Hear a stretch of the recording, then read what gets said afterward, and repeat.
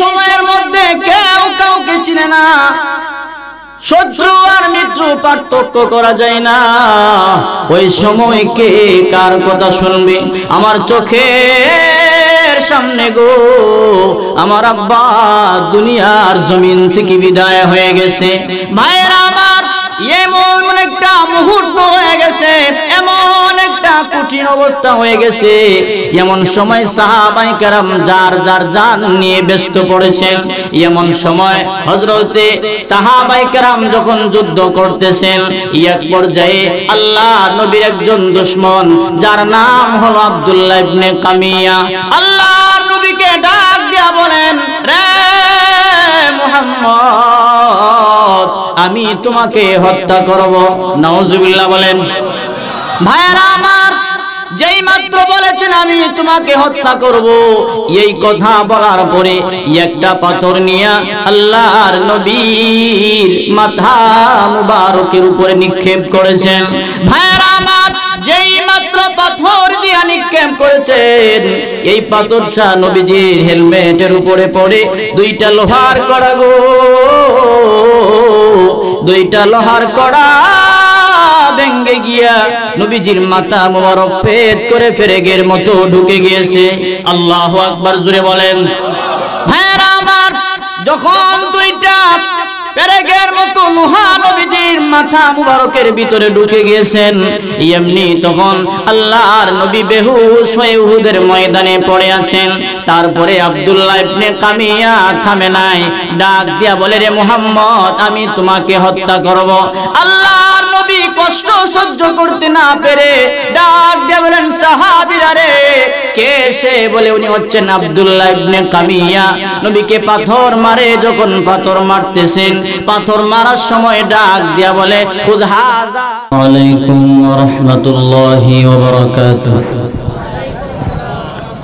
إن الحمد لله نحمده ونستعينه ونستغفره ونؤمن به ونتوكل عليه ونعوذ بالله من شرور أنفسنا ومن سيئات أعمالنا. من يهده الله فلا مضل له ومن يضلله فلا هادي له. ونشهد أن لا إله إلا الله وحده لا شريك له. ونشهد أن سيدنا وسندنا وحبيبنا ومولانا محمدا عبده ورسوله الذي أرسله الله تعالى بالحق بشيرا ونذيرا وداعيا إلى الله بإذنه وسراجا منيرا. أما بعد فأعوذ بالله من الشيطان الرجيم.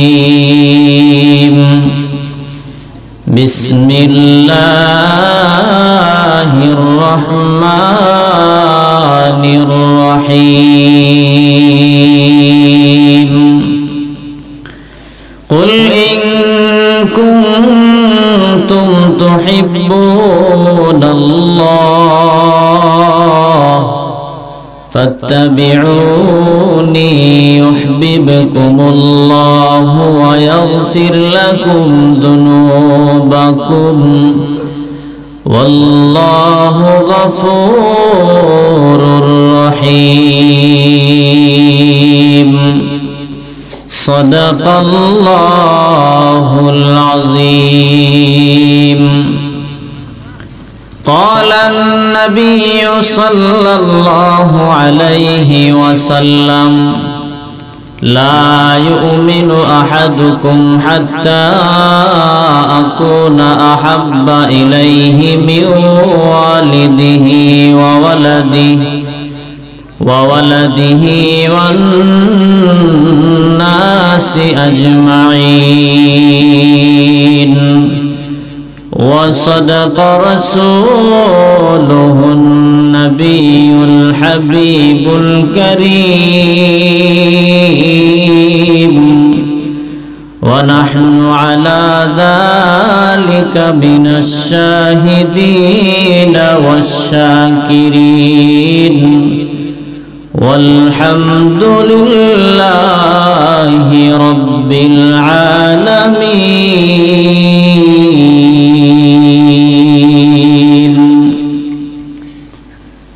সকলে দরুদ ইব্রাহিম পড়ি اللهم صل على محمد وعلى آل محمد كما صليت على إبراهيم وعلى آل إبراهيم إنك حميد مجيد. اللهم بارك على محمد وعلى آل محمد. كما باركت على إبراهيم وعلى آل إبراهيم. إنك حميد مجيد. إلهي دکھا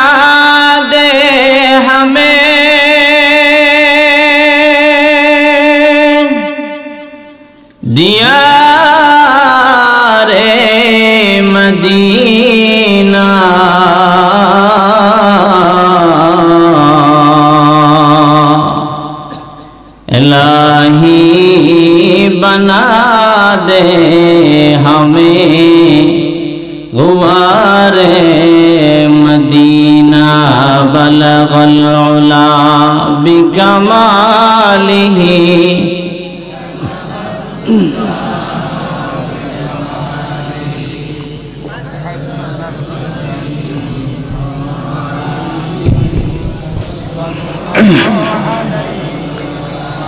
লা ইলাহা ইল্লাল্লাহ জুরে লা ইলাহা। লা ইলাহা ইল্লাল্লাহ, লা ইলাহা। লা ইলাহা ইল্লাল্লাহ, লা لا إله لا إله إلا الله আসিয়া বলেন এক আল্লাহ ফেরাউন বলে বারাজালা আসিয়া বলেন এক আল্লাহ ফেরাউন বলে বারাজালা আল্লাহ বলেন ও জিবরাইল খুলে দাও জান্নাতের তালা। লা ইলাহা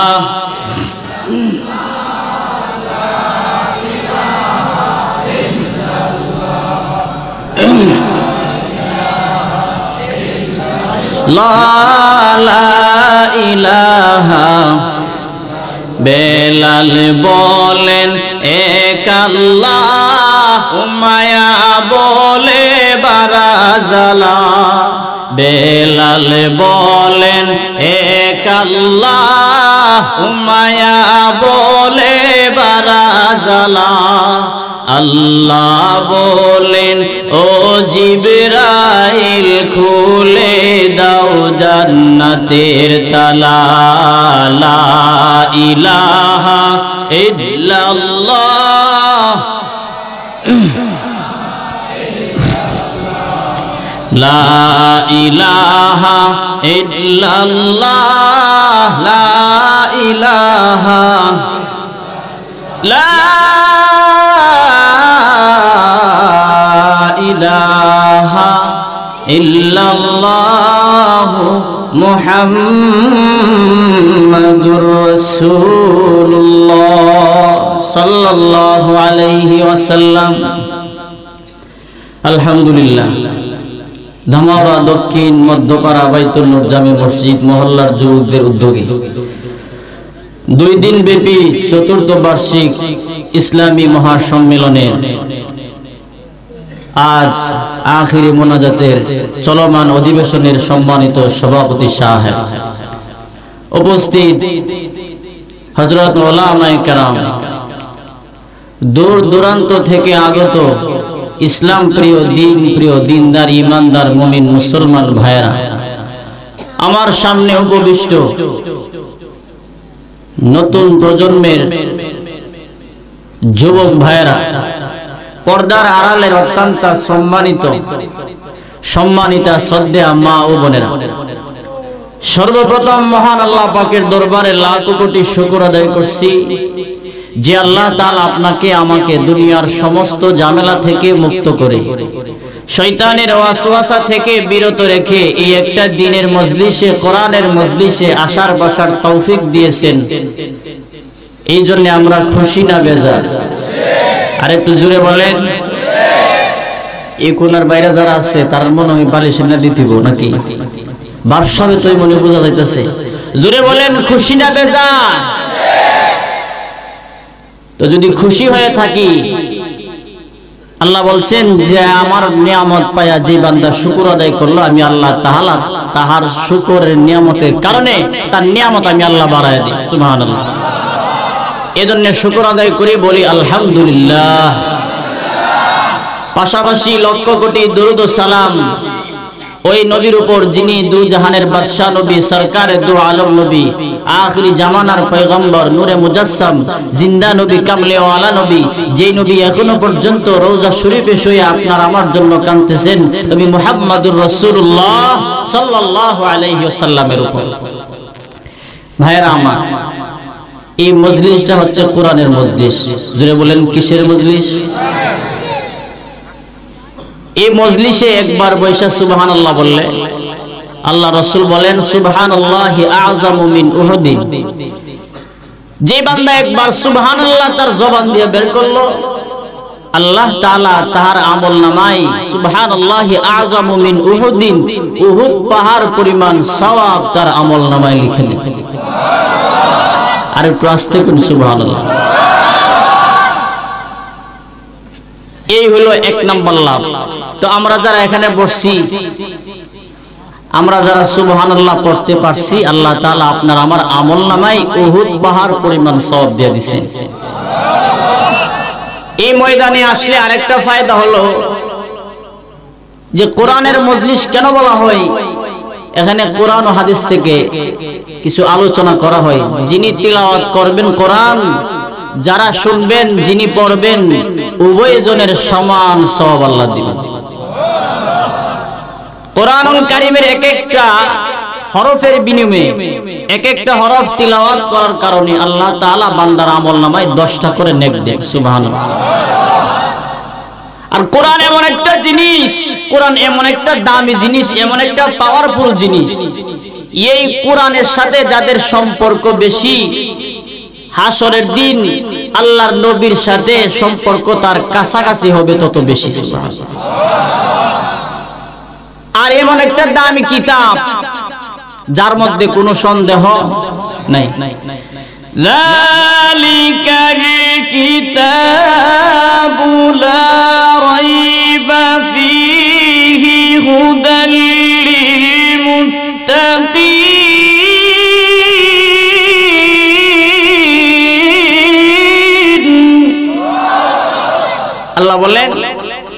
যে লা রাইবা ফি, এটা এমন একটা কিতাব যার মধ্যে কোনো সন্দেহ নাই।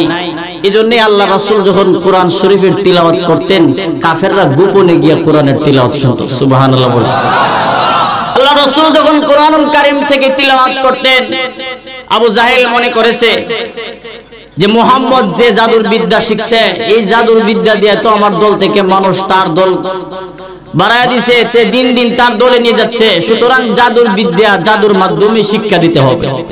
এই আমান থেকে এক জাদুকর বার আনছে। জাদুকর যখন বার করে আনছেন তখন জাদুকরকে বলল, জাদুকর, আমার বাতিজা মোহাম্মদ কি যেন তিলাওয়াত করে, তার এই তিলাওয়াতের কারণে মানুষগুলো দিন দিন তার প্রতি ভালোবাসা, মহাব্বত জমতেছে, তার দিকে আকৃষ্ট হচ্ছে। সুতরাং জামাত নামের জাদুকরকে আনলো, তার নাম হলো জামাত। জুড়ে বলেন কি নাম? জামাত, তুমি আমার বাতিজা মুহাম্মদের সাথে তুমি জাদু দিয়া লড়াই করবা। আমরা তো এমনি তার সাথে পারি না। তুমি জাদু দিয়ে লড়াই করবা। আমার বাতিজা মুহাম্মদের সাথে তুমি ছাড়া আর কেউ পারতো না। ঠিক আছে, এটা কোনো ব্যাপার হলো আমার লাগে। অসুবিধা নাই।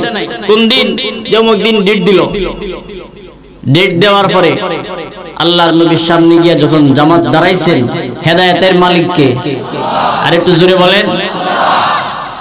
জামাত যখন গিয়া নবীজির সামনে দাঁড়াইছেন, জামাত বলে, যে আপনি নাকি জাদুর মন্ত্র জানেন যে আপনার জাদুর মন্ত্র আপনি পাঠ করেন? রসুল বলেন, যে জামাত, তোর কে এমন শিক্ষাটা দিল যে আমি জাদুর মন্ত্র পড়ি? আমি যে মন্ত্র পড়ি এই মন্ত্র যদি তুইও জানতে, তাহলে তোরেও তারা জাদুকর করত কারণ এটা এমন একটা মন্ত্র, এটা এমন একটা কিতাব। যে কিতাব থেকে তিলাওয়াত করলে জাহান নাম থেকে মুক্তি দিয়ে আল্লাহ জান্নাতি বানায় দিই সুবহানাল্লাহ। জামাত বলে, কি তিলাওয়াত করেন করেন?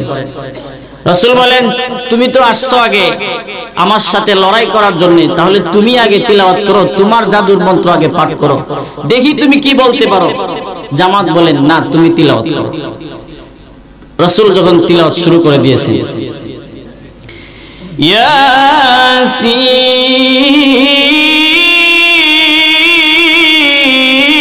ياسين والقرآن الحكيم إنك لمن المرسلين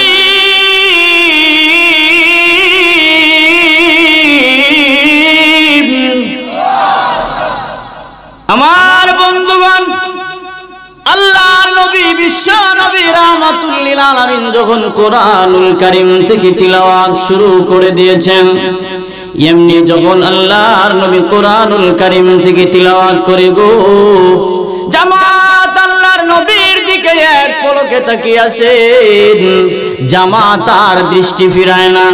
জামাত যখন নবীজির কণ্ঠের কোরআন তিলাওয়াত শুনতেছেন, আস্তে আস্তে তাহার অন্তরের পরিবর্তন চলে আসছে। সুবহানাল্লাহ বলেন, আল্লাহ রাব্বুল আলামিনের কোরআনের তো পাওয়ার, কোরআন যদি কেউ তেলাওয়াত করে গো, আল্লাহ বলেন এক একটা হরফের বিনিময়ে আমি আল্লাহ দশটা করে নেক দিয়া দেই। ভাইরা আমার, আল্লাহর নবী যখন কোরআনুল কারীম থেকে তিলাওয়াত শুরু করে দিয়েছেন, জামাত শুনতে আসেন শুনতে আসেন, এক পর্যায়ে জামাত নবীজির নুরানি চেহারার দিকে নজর করেছেন। আল্লাহর নবীর নুরানি চেহারার দিকে যখন জামাত দেখায়, নবীজির নুরানি চেহারা দেখার সাথে সাথে আল্লাহর নবীর চেহারার প্রভাব গিয়া এইভাবে জামাত নামের জাদুকরের উপরে পড়ে গিয়েছেন। এই দিকে অন্তর আস্তে আস্তে পরিবর্তন হয়ে চলে আসছেন। জামাত এক পর্যায়ে ডাক দিয়া বলে, নবী গো পয়গম্বর, কি আপনি তিলাওয়াত করেন? আল্লাহর নবী যখন কোরআন শরীফ তিলাওয়াত করা বন্ধ করে দিয়েছেন, এক পর্যায়ে নবীজি বললেন, সদাকাল্লাহুল আযীম।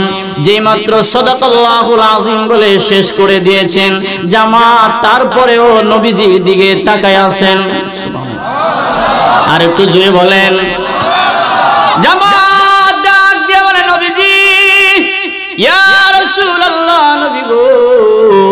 আপনি কি এমন তিলাওয়াত করেন গো? আপনি যে কোরআন তিলাওয়াত বন্ধ করে দিয়েছেন। আল্লাহ নবী ডাক দিয়া বলেন, রে জামাত, তুমিও তো আমার সাথে আসছো তোমার জাদুর মন্ত্র পাঠ করার জন্য। তুমি তিলাওয়াত করো তোমার জাদুর মন্ত্র। জামাত দুইটা হাত উড়া ডাক দিয়া বলেন, ইয়া রাসূলুল্লাহ নবী গো আর আমার বুঝবার বাকি নাই। এইটা কোনো জাদুর মন্ত্র হইতে পারে না। আবু জাহেলকে ডাক দিয়া বলেন, রে আবু জাহেল, তুমি বলেছ এইটা জাদুর মন্ত্র। এইটা কোনোদিন জাদুর মন্ত্র হইতে পারে না। যেই তিলাওয়াত শুনলে অন্তরের মধ্যে আল্লাহর কথা স্মরণ হয়ে গো। ওই তিলাওয়াত কোনদিন জাদুর মন্ত্র হইতে পারে না।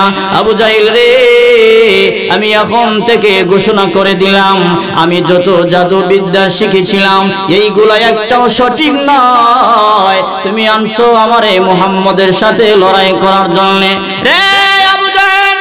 ঘোষণা দিয়ে দিলাম, ভালো করে শুনে না আমি আল্লাহর নবী যে মন্ত্র পড়ে রে, এই মন্ত্র শুনে আমি জামাত নামের জাদুকর, আমার সব কিছু বাদ দিয়া ওই নবীর হাতে কালেমা পরে মুসলমান হয়ে গেলাম।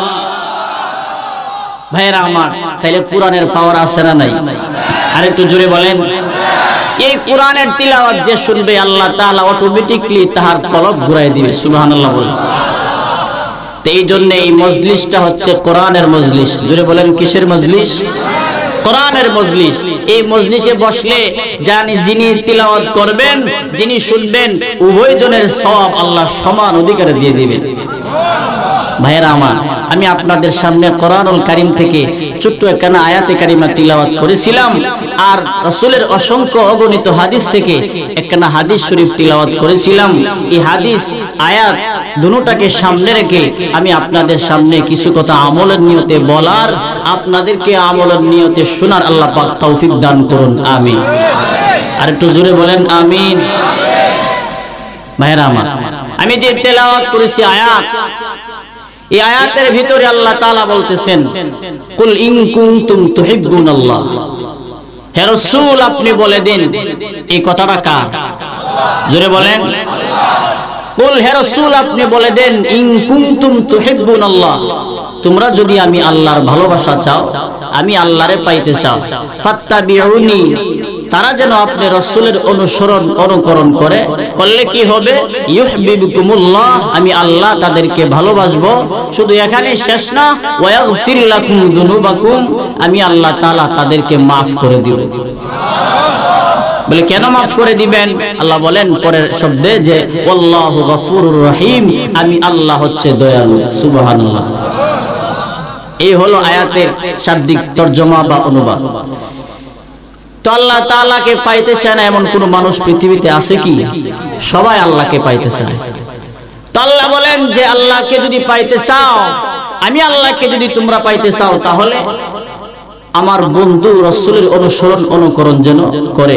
আমি যে আয়াতটা আপনাদের সামনে তিলাওয়াত করেছি, আগে বুঝতে হবে এই আয়াতটা নাজিল হওয়ার কারণ কি। কথা বলেন ঠিক না বেটি ইহুদি নামের একটা বংশ আছে, কথা বলেন ঠিক না বেটি?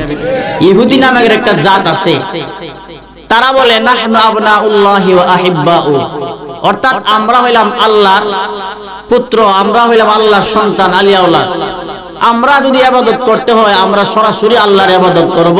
সুতরাং কোন নবীর মাধ্যমে কাহার মাধ্যমে আল্লাহর আবাদত আমরা করতে পারব না। নাউজুবিল্লাহ বলে আল্লাহর কি কোনো ছেলে সন্তান আছে? ভাই বারাদা মা বাপ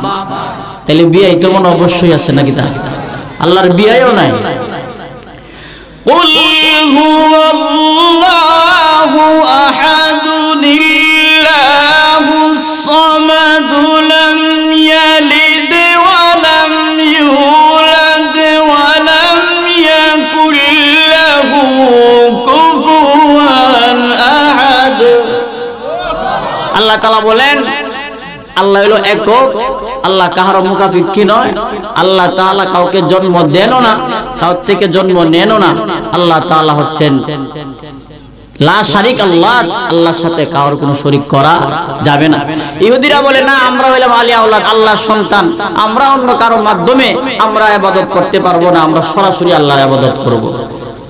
তারা বলে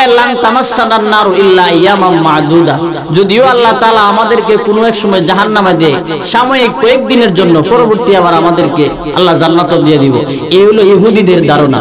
আল্লাহ তাআলা ইহুদিদের ধারণাটা বোঝানোর জন্য, তাদের ধারণাটা পাল্টাইয়া দেওয়ার জন্য, তাদের এই ধারণার জবাব দেওয়ার জন্য আমার তিলাওয়াত কিন্তু আয়াত নাজিল করে আল্লাহ জানায় দিয়েছেন, হে রাসূল, আপনি বলেন, আমি আল্লাহকে যদি কেউ পাইতে চায়, আমি আল্লাহর মহাব্বত যদি কেউ অর্জন করতে চায়, তাহলে আপনার অনুসরণ ছাড়া আমি আল্লাহর আবাদত গ্রহণযোগ্য হবে না। ভাইয়ের আমার, আমরা যদি আল্লাহ পাইতে চাই, তাহলে আমাদের সর্বপ্রথম কাজ হলো আল্লাহর প্রত্যেকটা হুকুমের মধ্যে রসুলের তরিকা লাগানো। কথা বলেন ঠিক না বেটি? এর নাম হচ্ছে আশেকে রসুল। এর নাম কি? আশেকে রসুল। রসুলের মহাব্বত হলো এক জিনিস আর অনুসরণ, অনুকরণ হলো আরেক জিনিস। কথা বলেন ঠিক না বেটি? মহাব্বত করছিলেন আবু তালেব। মহাব্বত করছিলেন কে? আবু তালেব রসুলকে মহাব্বত করেছিলেন। কেমন মহাব্বত করছিলেন? ভালোবাসছিলেন? কাফের আগে বলেন "যাও আবু তালেব, তোমার ভাতিজা মোহাম্মদের জন্য আমরা কোনো কিছু করতে পারি না। আমাদের দাওয়াতের প্রচার প্রসার আমরা করতে পারি না। তোমার বাতিজারে তুমি নিষেধ করে দাও সে যেন আমাদের মূর্তি পূজার বিরুদ্ধে কোনো কথা না বলে। জোরে বলেন, নাউজুবিল্লাহ। আবু তালেব বলতেছে, ঠিক আছে। আরে বইলা দিব। আবু তালেব গিয়ে বলে, বাতিজা, এলাকার থেকে লোক সকল আসছিল। তুমি এক কাজ করো, তুমি দাওয়াতের কাজটা বন্ধ করে দাও আল্লাহর নবী ডাক দিয়া বলেন, চাচা চাচা গো, এক হাতে আমার সূর্য এনে যদি দেওয়া হয়, অপর হাতে যদি চন্দ্র এনে দেওয়া হয় গো, আমি জানি তারা কোনোদিন এইটা এনে দিতে পারবে না। তারপরেও যদি সম্ভব হয় গো, আমি রসুল, যদি তারা আমার হাতে এরকম চন্দ্র আর সূর্য এনে দেয়। আমি রসুল এইগুলা হাতে নিতে প্রস্তুত, কিন্তু কোনোদিন দাওয়াতের কাছ থেকে এক মুহূর্তে সরতে পারব না। এমনি তখন আল্লাহর নবীর পক্ষ হইয়া আবু তালেম ডাক দিয়া বলেন, রে মক্কার কাফেরা রে আমার বাতিজা যদি দাওয়াতের কাজ বন্ধ না করে গো, আমি আমার বাতিজার পক্ষ নিলাম। তোমরা যারা বলো, আমার বাতিজা মুহাম্মদকে তোমরা হত্যা করবা। এই আবু তালেবের শরীরে বিন্দু পরিমাণ রক্ত থাকতে গো, আমার বাতিজা মুহাম্মদের শরীরে কেউ আঘাত করতে পারবে না। তাহলে ভালোবাসছেন কম না বেশি? উনি সরাসরি রসুলকে কুলে পর্যন্ত নিছেন। কিন্তু তাহার এই ভালোবাসার কোনো দাম নাই, কারণ হলো ভালোবাসা আছে ঠিক, কিন্তু রসুলের আনুগত্য না আর একটু জুড়ে বলেন আমার ভালোবাসা হইল এক জিনিস, অনুসরণ, অনুকরণ, আনুগত্য হইল আরেক জিনিস। আমি রসুলকে মানি, আমার মুখে দাড়ি নাই। আমি রসুলকে মানি, আমি নামাজ পড়ি না। আমি রসুলকে মানি, আমি রসুলরে মহাব্বত করি, আমি পর্দা করি না। আমি রসুলকে মহাব্বত করি গো, কিন্তু আমি হালাল হারাম বেছে থাকি না।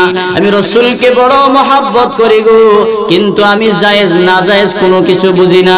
এর নাম কোনো দিন আশেকে রসুল হইতে পারে না। ঠিক না বেটি ভালোবাসা এমন এক জিনিস এমন এক জিনিস, দুটা হইল আলাদা আলাদা। কথা বলেন ঠিক না বেটি আবু জাহেল রসুলকে ভালোবাসছিলেন।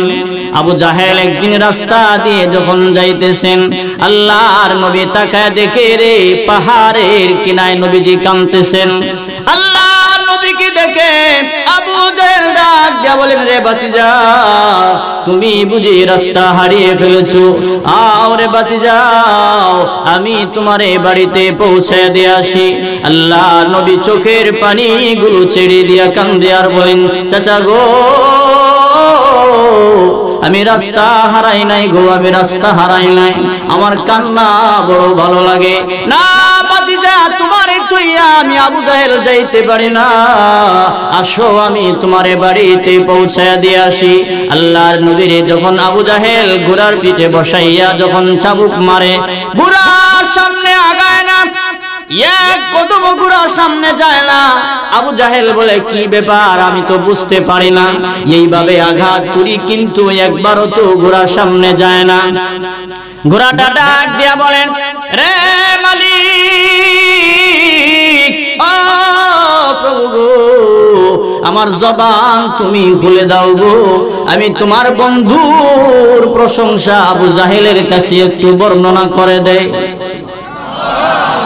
ভাইয়েরা যেই মাত্র আবু জাহেল এইভাবে আল্লাহ তাআলা ঘোড়ার জবান খুলে দিলেন।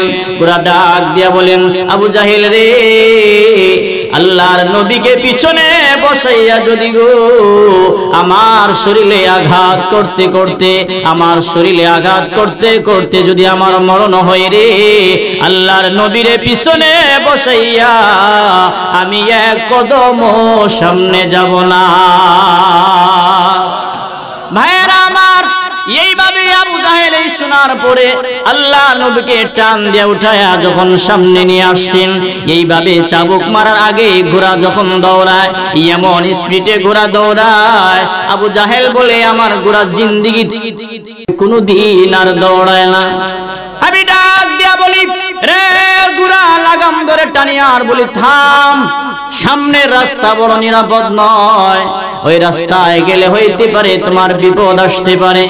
গোড়া ডেকে বলেন, আবু জাহিল রে, জীবনে কোনোদিন কল্পনাই করি নাই রে আল্লাহর নবী আমার পিঠে বসবে। সুবহানাল্লাহ। জীবনে কোনদিন কল্পনা করি নাই গো যে আল্লাহর নবী আমার পিঠের উপর বসবে। রে আবু জাহেল, আমার নবী আমার পিঠের উপরে বসে রে। আমি মরবো না, বাঁচবো, এই চিন্তা আমার করার দরকার নাই। আমার পিঠে রহমাতুল্লিল আলামিন বসা আছে, রব্বুল আলামিন তাই ভালো জানে। আবু জাহেল আল্লাহ নবীকে লইয়া বাড়ির ভিতরে গিয়া ডাক দিয়া বলে, রে মুহাম্মদের বংশধরেরা, নে এই সন্তানটারে নিয়া নে। এই সন্তানটা ভবিষ্যতে বড় হইয়া একজন ভালো মানুষ হয়ে যাবে। সুবহানাল্লাহ বলেন। তাহলে আবু জাহেলের ভালোবাসা কম ছিল না বেশি ছিল? আর একটু জুড়ে বলেন। কিন্তু তারপরেও আবু জাহেল কিন্তু জাহান জাহান্নামী। বলে, কেন কেন? আবু জাহেল রসুলকে তো মোহাব্বত করেছেন, এমন ভাবে আদর যত্ন করেছেন। তারপরেও কেন রসুলের কথা না শোনার কারণে জাহান নামে যাবে? মোহাব্বত করার কারণে কেন জাহান নামে যাবে? তার জবাব হলো, ভালোবাসা আছে ঠিক, কিন্তু নবীজির আনুগত্য না আরেকটু জুড়ে বলেন, ঠিক না বেটি ভালোবাসা আছে ঠিক, কিন্তু রসুলের আনুগত্য নাই। অনুসরণ করছেন সাহাবাই কারাম। কথা বলেন ঠিক না বেটি রসুলকে ভালোবাসার মাপকাঠি হচ্ছেন সাহাবাই কারাম। সাহাবাই কারাম হচ্ছে রসুলকে ভালোবাসার মাপকাঠি। এই সাহাবাই কারাম যখন যেইভাবে আল্লাহ রসুল যেই কোনো কথা বলেছেন, তখনই সাহাবাই কেরাম জীবন পর্যন্ত দিতে দ্বিধাবোধ করেন নাই। হাসি মুখে জীবনটা পর্যন্ত দিয়ে দিচ্ছেন সুবাহান ভাইয়েরা আমার, রসুলকে আমি তখনই মানি যখন আমি হাঁটতে গেলে রসুলের সুন্নত মানি। যখন আমি ঘুমাইতে গেলে আল্লাহর নবীর সুন্নত অনুযায়ী আমি ঘুমাবো, আমি বাথরুমে গেলে আল্লাহর নবীর সুন্নত অনুযায়ী আমি যাব। আমি যখন এইভাবে খানা খাব, প্রত্যেকটা সুন্নত আদায় করে যখন আমি চলবো গো, মুখে যদি দাবিও না করি গো। তারপরেও কিন্তু আমি সত্যিকারের আশেকের রাসূল।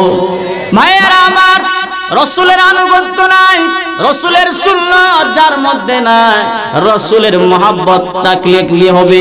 মুখে মুখে দাবি করতে পারো রাইটিং এ দাবি করতে পারো, দেয়ালে পোস্টার লাগায়া দাবি করতে পারো, আমি রসুলকে বড় ভালোবাসি। এই ভালোবাসার কোনো মূল্য হবে না। যদি রসুলের সুন্নত না থাকে, ঠিক না বেঠিক ভাইয়েরা সাহাবাই কেরাম ছিলেন সত্যিকারের আশিক রাসূল। আল্লাহর নবী যখন যেইভাবে সাহাবাই কেরামদেরকে ডাক দিয়েছেন, তখনই সাহাবাই হাসি মুখে জীবনটা দিয়ে দিছেন। ঠিক না বেঠিক ভাইরা আমার, উহুদের ময়দানের যুদ্ধ যখন শুরু হয়ে যায় আল্লাহ নবী ডাক দিয়েছেন, সাহাবিরা রে আও উহুদের ময়দানে যাব। এইভাবে যখন এক হাজার সাহাবাই কারাম লইয়া আল্লাহ নবী যুদ্ধের ময়দানে রওনা করেছেন এই দিকে আব্দুল্লাহ বিন উবাই বিন সুলুলের সাথে তিন শত মুনাফিক চলে এসেছেন। আর রয়েছে কতজন? এক হাজার নিয়ে গেলে আর রয়েছে কতজন? আর জোরে বলেন কতজন? সাতশো জন। ওই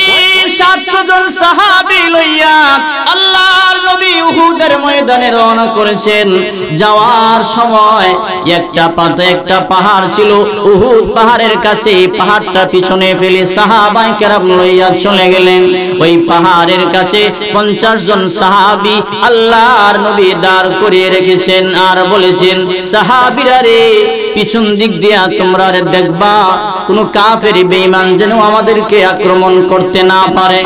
ওই পিছনে দাঁড় করিয়ে আল্লাহর নবী যুদ্ধের ময়দানে, উহুদের ময়দানে সামনে আগায়া গেল। এইভাবে যখন যুদ্ধ শুরু হয়ে গেছে, শুরু হয়ে গেছে। যুদ্ধ যখন শুরু হয়ে যায় গো, এক পর্যায়ে মুসলমানের দরবারি আঘাতের কারণে কাফের বেঈমানেরা মুহূর্তের ভিতরে সব কিছু ফালাইয়া উহুদের ময়দান ছেড়ে চলে গিয়েছে। কিন্তু ভাইরা আমার, যেই মাত্র কাফের বেঈমানেরা চলে গিয়েছেন, ঠিক এমন সময় সাহাবাই কেরাম ভাইয়ের, আমার ঘটনা দ্বারা উদ্দেশ্য এটা না যে আমি আপনাদেরকে ঘটনা শোনাবো, এটা উদ্দেশ্য না। আমি এটা এই জন্য শোনাইতে চাই, আপনিও ভালোবাসেন আর সাহাবাই কেরাম ও রাসূলকে কেমন মহাব্বত করেছিলেন। ভাইয়ের, আমার যখন কাফের বেঈমানেরা চলে গেল, তখন সাহাবাই কেরাম গিয়ে গনিমতের মাল ঠুকাইতে আরম্ভ করেছেন। এই দিকে পঞ্চাশ জন সাহাবি যে দাঁড় করিয়েছিল, তারা মনে করেছে, যুদ্ধ তো আমরা বিজয় হয়ে গেছি। চলো আমরাও তাদের সাথে গিয়ে গনিমতের মাল নিয়ে আসি। এই ময়দানের এই পঞ্চাশ জন সাহাবির মধ্যে একজন আমির ছিলেন, যার নাম ছিল আব্দুল্লাহ বিন জুবাইর রাদিয়াল্লাহু আনহু বলেন, সাহাবীরা রে, আল্লাহর নবী আমাদেরকে এখানে দাঁড় করিয়ে রেখেছেন। আমরা ততক্ষণ পর্যন্ত যাব না।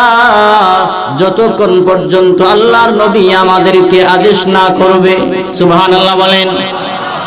এই কথার উপরে মাত্র দশ জন সাহাবি মত হয়েছেন আর চল্লিশ জন সাহাবি মত হয় নাই। এর অর্থ এই নয় যে সাহাবাই কারাম নবীর কথা মানে নাই। তারা মনে করেছে, সাহা কাফেররা যেহেতু মাঠ থেকে পলায়ন করেছে, আমরা তো যুদ্ধের ময়দানে বিজয় হয়ে গেছি। এইটারে বলে ইজতিহাদি গবেষণাগত বল কিন্তু এর অর্থ এই নয় যে সাহাবাই কারাম রসুলের কথা মানে নাই। তারা মনে করেছে, আমরা যুদ্ধ তো বিজয় হয়ে গেছি। চল্লিশ জন সাহাবি যখন ময়দানের সামনের দিকে আগাই গো, এই দিকে কাফের বেঈমানেরা পিছন দিক দিয়ে এসে দেখে ওই যে পাহাড়ের উপরে মাত্র দশ জন সাহাবি দাঁড়িয়ে আছেন। যেই মাত্র দশ জন সাহাবিকে দেখেছেন। আবার উহুদের ময়দানের অবস্থা পরিবর্তন হয়ে গেছে গো। সাহাবাই কারামকে দেখে আবার কাফের বেঈমানেরা আবারও আক্রমণ চালিয়ে দিয়েছেন। এমন ভাবে দশজন সাহাবি শহীদ হয়ে গেছেন। এইভাবে মুহূর্তের ভিতরে ময়দানের মাঠ উহুদের ময়দানের মাঠের অবস্থা বিকল্প রাস্তা হয়ে গেছে, পরিবর্তন হয়ে গেছে গো। কে শত্রু আর কে মিত্র চিনা যায় না। ওই কাফের বেঈমানেরা মুসলমানের ভিতর ঢুকে গেছে। এক একজন করে আল্লাহর প্রিয় নবীর সাহাবিকে শহীদ করে দিয়েছেন। ওই সময় মুসলমানেরাও মুসলমানের হাতে মার খাইতেছেন। কিন্তু কে শত্রু আর কে মিত্র চিনা যায় না। ভাইয়েরা আমার ওই সময় মুসলমানেরা মুসলমানের হাতে শাহাদত বরণ করে আল্লাহর তৈরি জান্নাতে যাচ্ছেন। এমন সময় আব্দুল্লাহ বিন হযরত হুজাইফা ইবনুল ইয়ামান রাদিয়াল্লাহু আনহু বলেন, আমি দেখছি গো, আমার আব্বা ও মুসলমানের হাতে শহীদ হয়েছে। কিন্তু এই সময় কে শুনে কার কথা? যেই সময়ের মধ্যে কেউ কাউকে চিনে না। শত্রু আর মিত্র পার্থক্য করা যায় না। ওই সময় কে কার কথা শুনবে? আমার চোখে সামনে গো, আমার আব্বা দুনিয়ার জমিন থেকে বিদায় হয়ে গেছে। ভাইয়ের আমার এমন একটা মুহূর্ত হয়ে গেছে, এমন কঠিন অবস্থা হয়ে গেছে। এমন সময় সাহাবাই কারাম যার যার জান নিয়ে ব্যস্ত পড়েছেন। এমন সময় হজরতে সাহাবাই কারাম যখন যুদ্ধ করতেছেন, এক পর্যায়ে আল্লাহ নবীর একজন দুশ্মন, যার নাম হলো আব্দুল্লাহ ইবনে কামিয়া, আল্লাহ নবীকে ডাক দিয়া বলেন, রে মুহাম্মদ, আমি তোমাকে হত্যা করব। নওজুবিল্লাহ বলেন আমার যেই মাত্র বলেছেন, আমি তোমাকে হত্যা করব। এই কথা বলার পরে একটা পাথর নিয়ে আল্লাহর নবীর মাথা মুবারকের উপরে নিক্ষেপ করেছেন। ভাইয়ারা আমার, যেই মাত্র পাথর দিয়া নিক্ষেপ করেছেন, এই পাথরটা নবীজির হেলমেটের উপরে পড়ে দুইটা লোহার কড়া গো, দুইটা লোহার কড়া গিয়া নবীজির মাথা মোবারক পেট করে ফেরেগের মতো ঢুকে গিয়েছে। আল্লাহ আকবার জুড়ে বলেন যখন দুইটা পেরেগের মতো মাথা মুবারকের ভিতরে ঢুকে গিয়েছেন, এমনি তখন আল্লাহর নবী ময়দানে পড়ে আছেন। তারপরে আব্দুল্লাহ ইবনে কামিয়া থামে নাই ডাক দিয়া বলে, রে মুহাম্মদ, আমি তোমাকে হত্যা করব।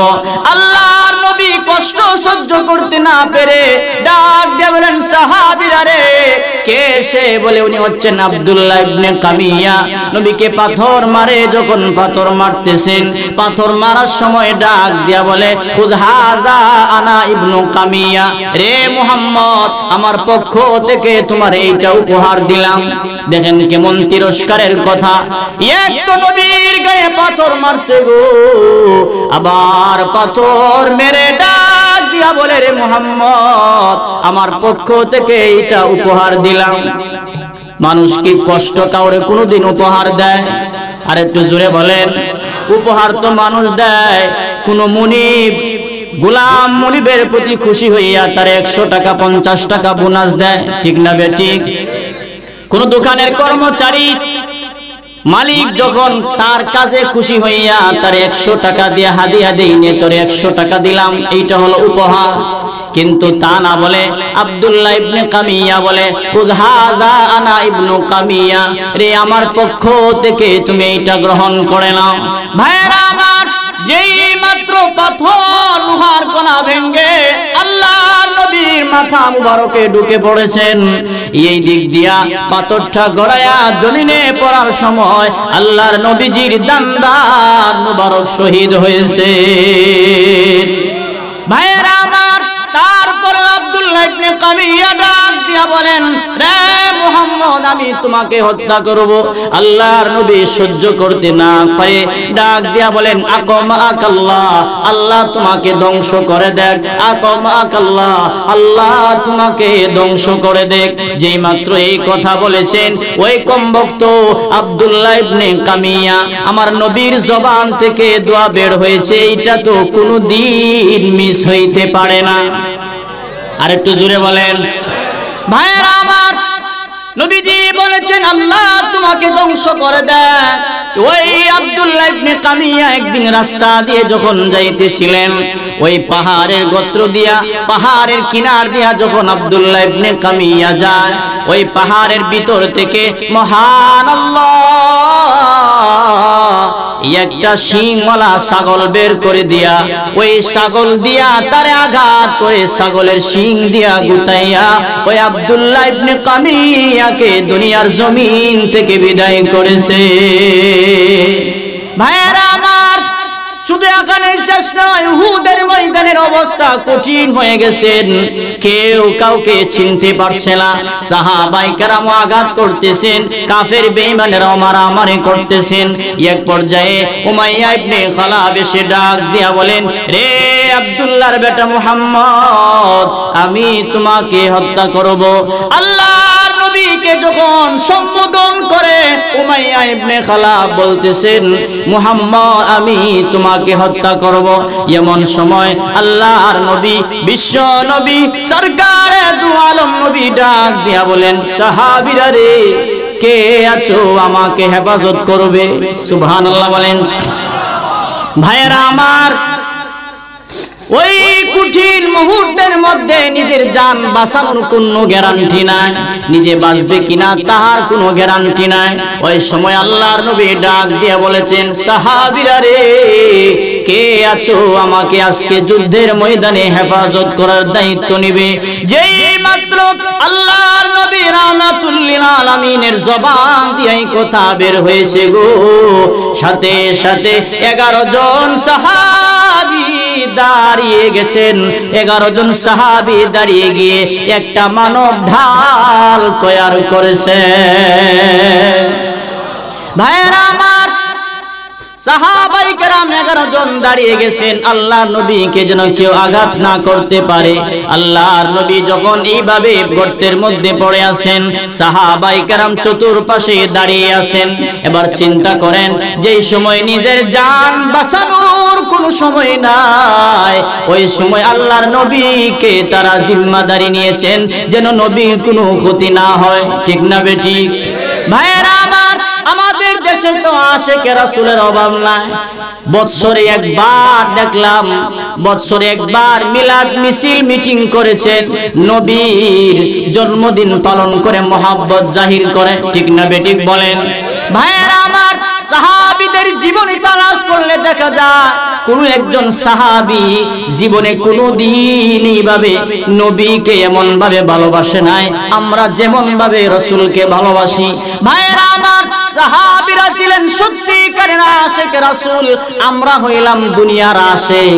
রাসূলের নাম দিয়া মিষ্টি জিলাফি বিভিন্ন আইটেম খায় ঠিক না বিটিক বারোই আউয়াল আসলে দেখা যায়, রাস্তাঘাটে মিছিল মিটিং করে দয়াল নবীর আগমন শুভেচ্ছার স্বাগতম। আরে তুই যেইভাবে রাস্তায় মিছিল দেস, তুই তো ফজরের নামাজে পড়লে না। ঠিক না বেটি? আর একটু জোরে কন। আমার, লক্ষ্য করে দেখুন সাহাবাই জীবনী তালাশ করে দেখেন একজন সাহাবীর জীবনী এমন পাবেন না যে সাহাবী নবীজির জন্মদিন জন্ম নিয়ে এইভাবে নাসা করেছেন। কিন্তু মনে করেছেন যেই দিনে রসুল দুনিয়ার জমিনে আগমন করেছেন। ওই দিনে তো আবার রসুল দুনিয়ার জমিন থেকে বিদায় হয়েছে। স্মরণ করে সাহাবাই কারাম কান্নাকাটি করতেন। ভাইরা আমার, এই বলতেছিলাম, ওই যে উহুদের ময়দানে সাহাবাই কারাম নিজের জীবন দিয়েছেন। যেই মাত্র এইভাবে সাহাবাই কারাম দাঁড়িয়ে গেছেন, উমাইয়া ইবনে খালাব তারপরেও আল্লাহর নবীকে হত্যা করতে চায়। আল্লাহ নবী, বিশ্ব নবী, রামাতুল্লিল আলামিন ডাক দিয়া বলেন, সাহাবীরা রে, আমার হাতে একটা তরবারি উঠায়া দে। আল্লাহর নবীর হাতে তরবারি দেওয়া হইলে নবীজি তরবারি দিয়া উমাইয়া বিন খালাফকে আস্তে করে একটা আঘাত করেছেন। আঘাত করার পরে উমাইয়া বিন খালাফ এই মাঠের ময়দানে এমন জুড়ে জুড়ে চিৎকার করতেছে। তার চিৎকারের আওয়াজে পুরা উহুদের ময়দান প্রকম্পিত হয়ে গেছেন।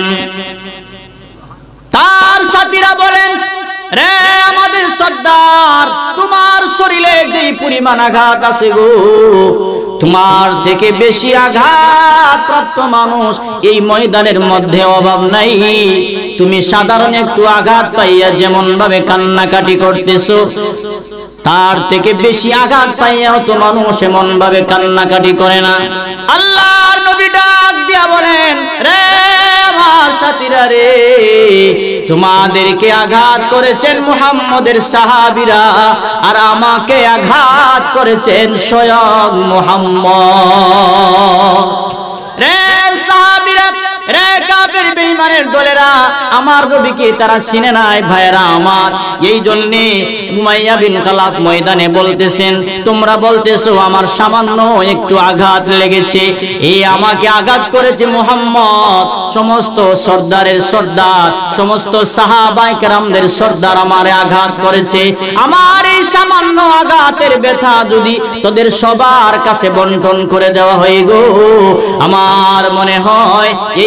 ব্যথার কারণে তারা সবাই দুনিয়ার জমিন থেকে চটপট করে বিদায় হয়ে যাবে।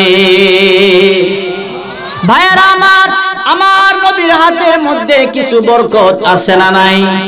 আর একটু জুড়ে বলেন। আমার নবীর হাতের মধ্যে কিছু জাহিরি ক্ষমতা আল্লাহ দিয়েছেন। আমার নবীকে আল্লাহ তাআলা কিছু বাতিনি ক্ষমতাও দান করেছেন। আমার নবীকে আল্লাহ রাব্বুল জাহিরি ক্ষমতা হলো আমার নবী গায়ে আল্লাহ তাআলা এই দুনিয়ার চার হাজার নৌজওয়ান যুবকের শক্তি দান করেছে। আর একটু জোরে বলেন, ভাইয়েরা যেই মাত্র এই কথা বললেন যে আমাকে মুহাম্মদ আঘাত করেছে, মুহাম্মদের হাতে বড় পাওয়ার আছে, আসলেই তো আমাদের নবীর হাতের মধ্যে বরকত। কথা বলেন ঠিক না বেঠিক ভাইয়েরা আমার নবীজির বাতিল ক্ষমতা হলো আল্লাহর নবী, বিশ্ব নবী রহমাতুল্লিল আলামিন। এইভাবে বাতিল ক্ষমতা হইল। শাহাদাত আঙ্গুল দিয়া যদি ইশারা করে গো, প্রায় আড়াই লক্ষ মাইলের সূর্যটা নবীজির শাহাদাত আঙ্গুলের ইশারার কারণে দুইটা টুকরা হইয়া যায়। কথা বলেন ঠিক কিনা? ভাইয়েরা আমার নবীর বাতিল ক্ষমতা হলো, আমার নবী যদি আবু জাহেলের মুঠের ভিতরে পাথরকে বলে রে পাথর, তুমি সাক্ষী দাও, আমি যে সত্যকারের নবী, আমার নবীর বাতিল ক্ষমতা হইল, আমার নবী পাথরকে বললে পাথর নবীকে কালমার সাক্ষী দিয়ে দেয়, ঠিক না বেঠি? আবু জাহেলের ছেলে ইকরাম একদিন আইছে। জুড়ে বলেন, কি নাম? আবু জাহেলের ছেলে এক মোহাম্মদ, তুমি তো নবী দাবি করতেছো আচ্ছা তোমার একটু পরীক্ষা করতাম। বলে, কি পরীক্ষা? পরীক্ষাটা হলো ওই যে নদীর এই পারে একটা পাথর আছে। এই পাথরটা যদি আয়া, তোমারে তোমার যে তুমি সত্যিকারের নবী, তাইলে আমি তোমার কালিমা পড়ে মুসলমান হয়ে যাব। আর একটু আসতে করি না সুবহান সুবহান আল্লাহ কইলে যে কত বড় সওয়াব, বললাম না একটু আগে। তারপরে যে আপনারা গাফলতি করেন। না, সব কেউ নিতে চাই না।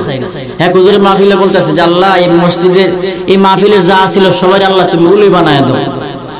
তখন কেউ আমিন কোনা হুজুর কেউ অত বড় দোয়াটা করলাম, তোমরা লাগি তোমরা কেউ আমিন কোনা হুজুর উলি হওয়া বড় কষ্ট আছে। আমরা দোয়া করছেন যে আমরা সবাই উলি হয়ে যাইতাম গা। উলি হওয়া বড় কষ্ট। বলে কেমনে? কো বুড়াত্রিটা উজু করতে হইব আবার নামাজ পড়তে হইব রোজা রাখতে হইব হজ জাকাত আদায় করতে হইব হালাল হারাম বাচ্চা চলতে হইব এরপরে না উলি।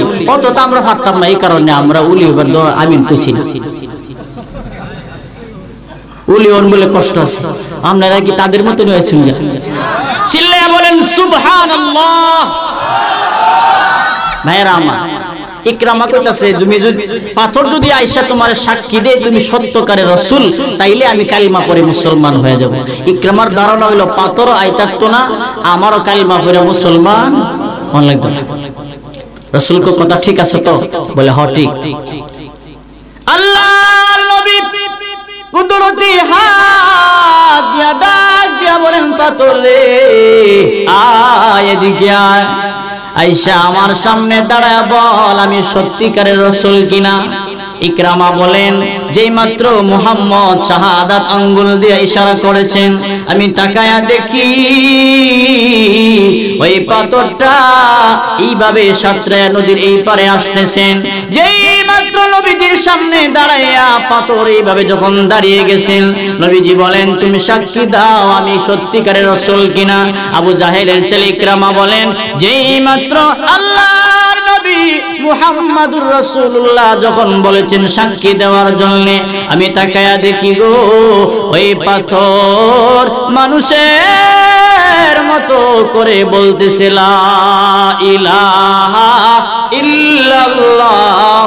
মুহাম্মাদুর রাসূলুল্লাহ সাল্লাল্লাহু আলাইহি আমার আমার নবীর বাতিনি ক্ষমতা হলো এমন আবু জাহেলের কাছে এক লোক টাকা পাইতো। আয়সা বলতেছে, আবু জাহেল, আমার টাকাটা দিয়ে দে। টাকা নিবে না, মার খাইবে? আমাদের দেশে এই ধরনের কিছু মানুষ আছে। ফাওনাদারের ফাওনা দিত, স্যার। কথা বলেন ঠিক না, বেটি? চাচা, শুক্রবারে দিয়ে দেবো। শুক্রবারে দেয়া, নামাজ নামাজ হয়ে গেছে না, দেয়া হইব করে কথা বলেন ঠিক না, বেটি? বেটারে, শুক্রবারে টিয়া দিতাম। কেউ নামাজ হইতা না। পাঁচ গা, আমি যাইতাম না রে, তোরা যা। হ্যাঁ বললাম আমি আরেক বেটার জবাব দিয়েছি যে শুক্রবারে টেহা দেওয়া লাগবো, এই কারণে আমি মসজিদে যাইতো না, কারণ গেলে দেয়া হইব, যাইতো না। নামাজ পড়ে বাড়িতে আছে বেটা আর হে বেটা বাজার যাইতো আজকে যেত এর মধ্যে চাষা কি করব দিস বিশ না হয় টিলার আজকে প্রসাদ করতে হয়ে গেছে। কথা বলে আসে না নাই? আর একটু জোরে বলেন আসে না আবু জাহেল কইতাছে টেহা নিবে না মার খেবে? কারণ বেটা গরিব মানুষ, না, মার খেবার ধরন নাই, নিজের জান বাসে ভিক্ষার ধরন নাই, কুত্তা সামলায় গেছে সামনে একটু যাওয়ার পরে দেখ কাফেররা বই আড্ডা মারতাছে। ওকে, কই গেছলে? কো আবু জাহেলের কাছে কিছু টাকা পাইতাম। আমার এই টাকাটা সে দিল না।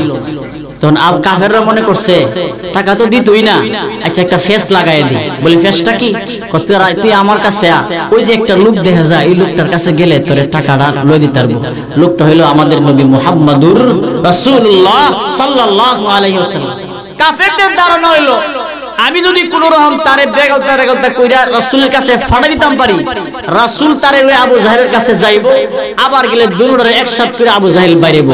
এই হলো আমাদের কাজ, কাফেরদের ধারণা হইল এইটা।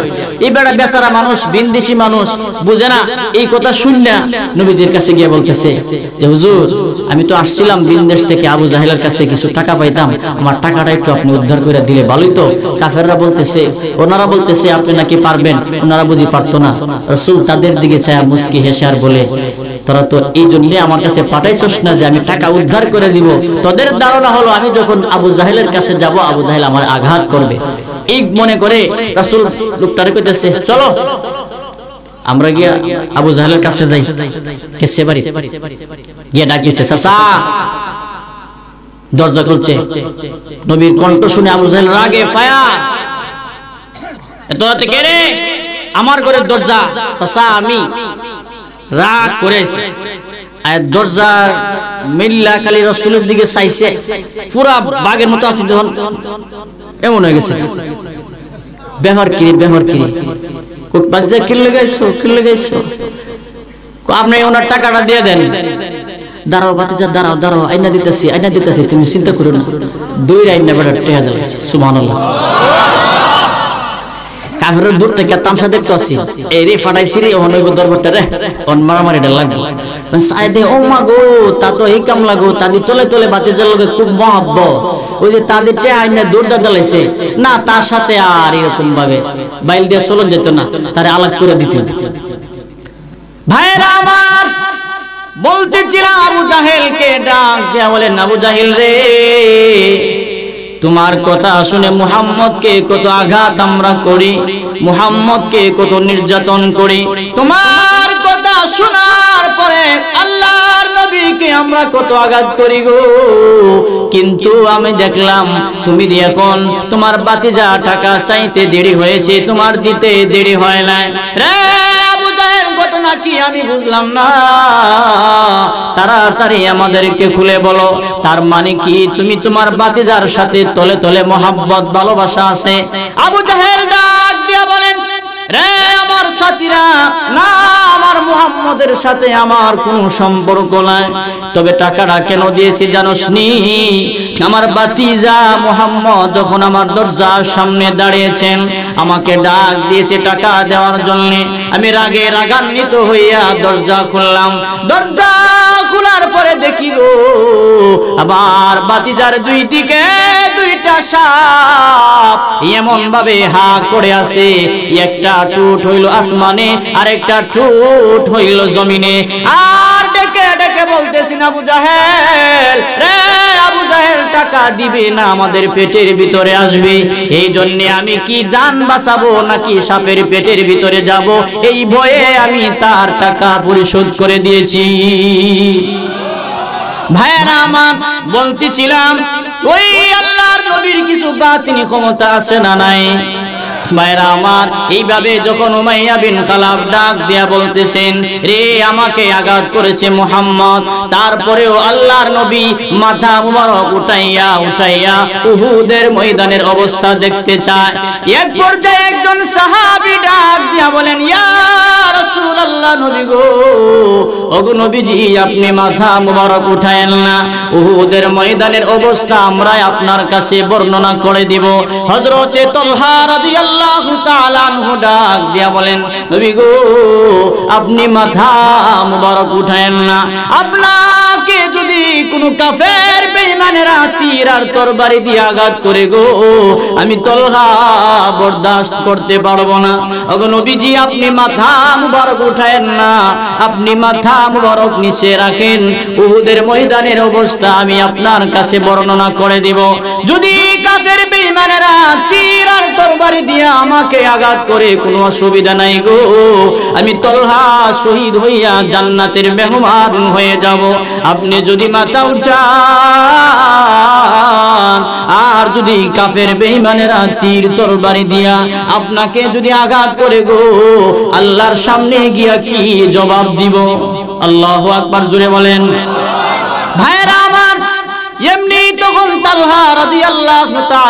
সহ 11 জন দাঁড়িয়ে আছেন, নবীকে লাইন ধরে দাঁড়িয়ে আছেন, নবীকে ঘেরাও করে এই দিকে কাফের বেঈমান আর তীর মারতেছেন, তরবারি মারতেছেন? হযরতে তালহা রাদিয়াল্লাহু তাআলা আনহু বুকটা এইভাবে খুলে দিয়া বলেন, রে কাফের বেঈমানেরা রে, আয় আমার কাছে আয়। যত তীর আর তরবারি মারতে মন চায়, নেই এই তালহার বুকটা তোদের জন্য রিজার্ভ করে দিয়েছি। যত তরবারি আর তীর মারতে মনে চায়, আমি তালহার বুকের মধ্যে মেরে দে।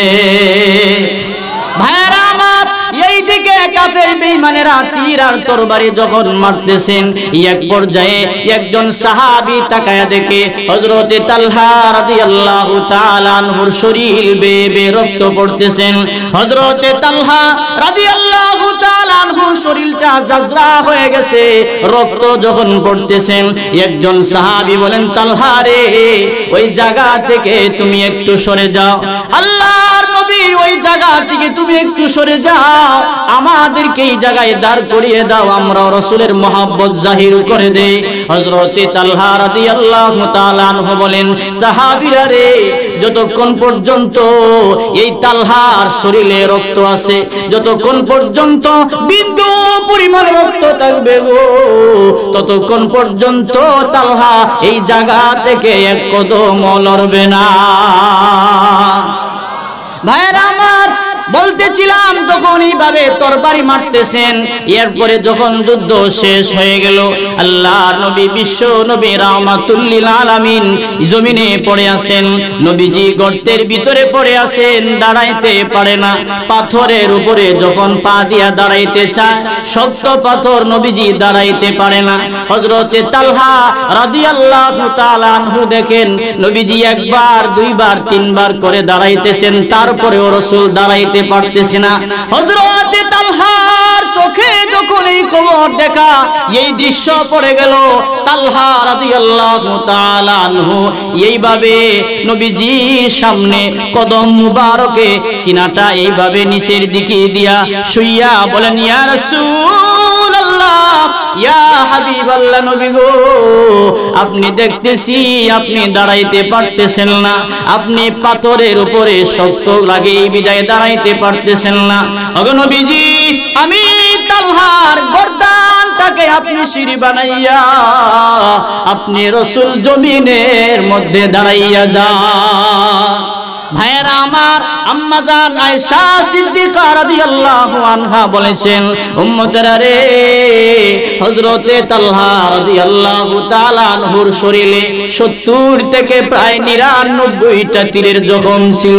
আল্লাহু আকবার বলেন। ভাইয়েরা আমার সত্তর থেকে প্রায় নিরানব্বইটা তীরের জখম যদি কারও শরীরে পড়ে গো, তাহলে তার শরীরটা চালুনের মতো জাজরা হয়ে গেছে, ঠিক না বেটি? তার শরীরটা ক্ষত বিক্ষত হয়ে গেছে। এই শরীর নিয়ে যখন আল্লাহর নবী দাঁড়াইতে পারে না হজরতে তাল্হা রাদিয়াল্লাহু আল্লাহ আনহু বলেন, ওগো নবীজি, আমি তাল্হার শরীরটা আমি নিচে আপনারে পাপুল বানায়া দিলাম গো। আপনার নরম কদম দিয়া আমি তালহার গর্দানের উপরে পা দিয়ে আপনি দাঁড়াইয়া যা এই ছিল সত্যিকারের আশিকে রাসূল। ভাইয়েরা আমার, যখন এইভাবে তালহা রাদিয়াল্লাহু তাআলা আনহু, নবীজির এমন মহাব্বত করেছেন, আল্লাহর নবী ডাক দিয়া বলেন আও জাবা তলহা আও জাবা তলহা তলহা ওয়াজিব করে ফেলেছে, তলহা ওয়াজিব করে ফেলেছে। এই মুহূর্তে আল্লাহর তুই জান্নাত, তলহার জন্য ওয়াজিব হয়ে গেছে বলেন, সুবহানাল্লাহ। ভাইয়েরা আমার বলতেছিলাম, এই ছিল সাহাবা একরামের মহাব্বত, এই ছিল সাহাবা একরাম সত্যিকারের আশিকে রাসুল, কথা বলেন ঠিক না ঠিক? ভাইয়েরা আমার সাহাবাই কেরামের ইতিহাস পড়তে গেলে দেখা যায়, নিজের সন্তানের মায়া করে না, মার মায়া করে না, বাবার মায়া করে না, রসুলের জন্য জীবন পর্যন্ত দিয়ে দেয়, ঠিক না ঠিক? হজরতে বেলাল রাদিয়াল্লাহু তাআলা একদিন মসজিদে নববীর মধ্যে ডাক দিতেছেন, হাইয়া আলাল জিহাদ, হাইয়া আলাল জিহাদ। সাহাবাই কেরামরা এই ডাক শুনে সবাই দৌড়ে মসজিদে নববীর সামনে চলে গেছেন ঠিক এমন সময় একটা ঘরের ভিতর থেকে কান্নার আওয়াজ আসতেছেন কান্নার আওয়াজ, মা ঘুম থেকে উঠে মা কাঁদতেছেন। মারে কান্নার আওয়াজ শুনে ছোট্ট মাসুম বাচ্চাটা ডাক দিয়ে বলে মাগো আপনি দিবান্নান্য দিন। আপনি কোরআনুল কারিম থেকে তিলাওয়াত করেন। আপনি নামাজ পড়েন, দুরুদে ইস্তেগফার করেন কিন্তু আজকে দিগো আপনি করুন কান্নার সুরে কাঁদতেছেন। রে কি হয়েছে আপনার? আপনি কেন কান্দেন গো? ও মা, আপনি কেন কান্দেন? এমনি তখন মহিলাটা ডাক দিয়া বলেন, বাবা রে, আমার দুঃখের কথা তুমি বুঝবা না। আমি কি জন্যে কান্দি তোমাকে বলতে হবে না? ছোট্ট বাচ্চা ডাক দিয়া বলেন, মা মাগো, আপনি বলেন না আপনি কোন কারণে কান্দেন? এমনি তখন মহিলাটা বলতেছেন বাবা রে প্রতিদিন বেলাল আনহু মসজিদের মুয়াজ্জিন হইয়া ডাক দে হাইয়া আলাল ফালা, নামাজের জন্য, কল্যাণের জন্য আসো। আজকে ডাক দিতেছেন, হাইয়া আলাল জিহাদ, হাইয়া আলাল জিহাদ, এসো যুদ্ধের ময়দানে শরীক হয়ে যাও, নবীজির মহাব্বত জাহির করে দাও। আমি এই জন্য কান্দি কিছুদিন আগে তোমার আব্বা দুনিয়ার জমিন থেকে বিদায় হয়ে গেছে। আমি এই জন্য কান্দি রে, আমার উপযুক্ত একটা সন্তানও নাই। যে আমি যুদ্ধের ময়দানে দিয়া হাসরের ময়দানে শহীদের মা অথবা মুজাহিদের মা হইতে পারব। আমি এই জন্য কান্দি, আমার যদি একটা সন্তান আমার এই সন্তানটা নবীজির সাথে দিয়া আমি আশিকে রসুল দাবি করতাম। এমনি তখন ছোট্ট মাসুম বাচ্চাটা ডাক দিয়া বলেন মাগো আপনি কাইদেন না গো আমি ওয়াদা দিলাম, এই মুহূর্তে আমি যুদ্ধের ময়দানে যাব। তোমার শহীদের মা অথবা মুজাহিদের মা না বানাইয়া আমি ঘরের ভিতরে ফিরব না। ভাইয়েরা আমার যেই মাত্র এই কথা বললেন ওই ছোট্ট সাহাবি মা কুলে লইয়া নবীজি দরবারে মসজিদে নববীর সামনে গেলেন। মসজিদে নববীর সামনে গিয়ে দেখেন সাহাবাই কেরাম লাইনে দাঁড়িয়ে আছেন। কে কে যুদ্ধের ময়দানে যাবে নাম লেখানোর জন্য। ঠিক এই সময় পুরুষের লাইনে ওই মহিলাটা দাঁড়িয়ে গেছেন। একজন সাহাবি ডেকে বলেন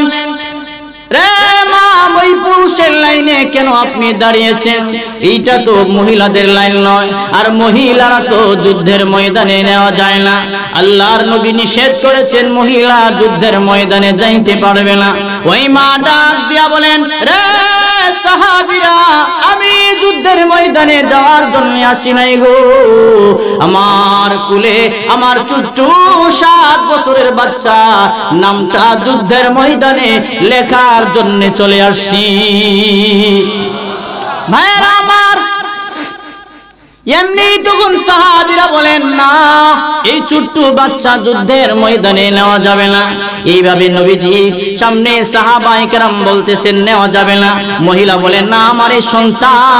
যুদ্ধের ময়দানে নিতে হবে।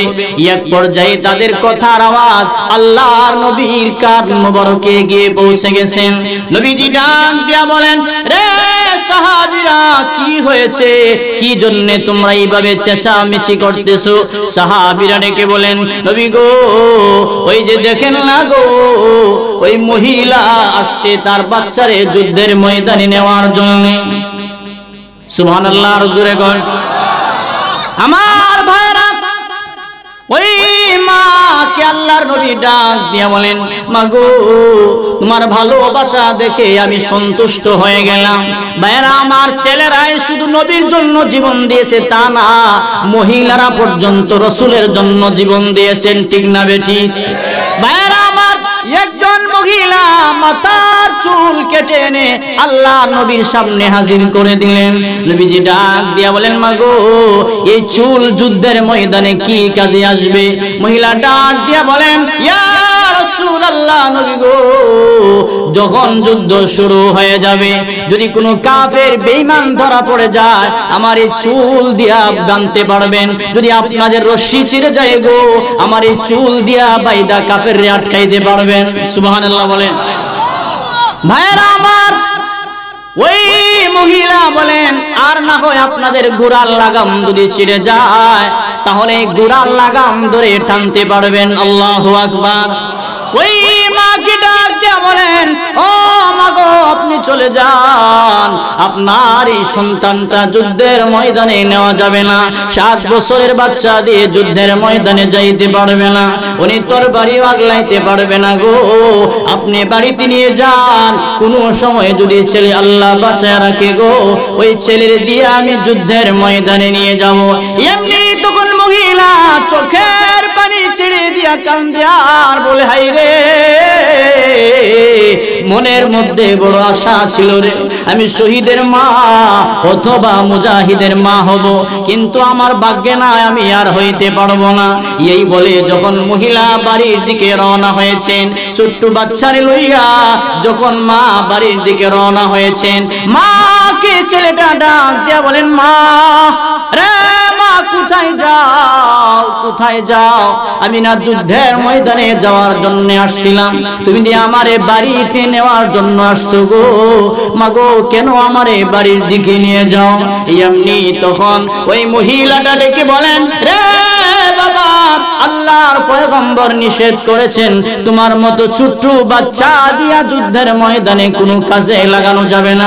এই যুদ্ধের ময়দানে কাজে লাগানো যাবে না। সুতরাং তুমি যখন বড় হইবা, তখন যুদ্ধের ময়দানে যাইতে পারবা। এমনি তখন ছোট্ট বাচ্চাটা ডাক দিয়া বলেন মা আমাকে নিয়ে চলো আল্লাহর নবীর দরবারে। আমি নবীকে কয়েকটা কথা জিজ্ঞাসা করব। সুবহানাল্লাহ বলেন। ওই বাচ্চার কথা শুনে, মা সন্তানের কথা শুনে বললেন, কি বলবা তুমি? মাগো, আমাকে আগে নিয়ে যাও।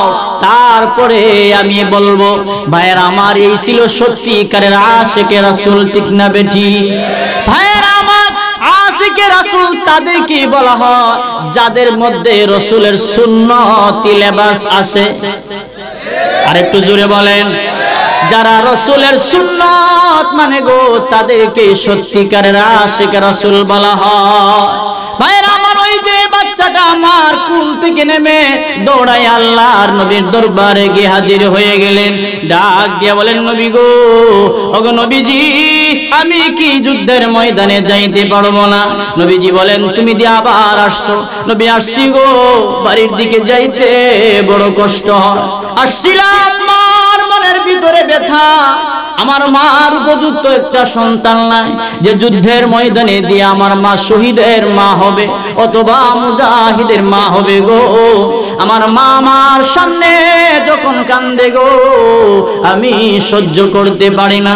নবীজি মাকে ওয়াদা দিয়েছি, হয়তো শহীদের মা, না হয় মুজাহিদের মা না বানাইয়া আমি বাড়িতে ফিরবো না।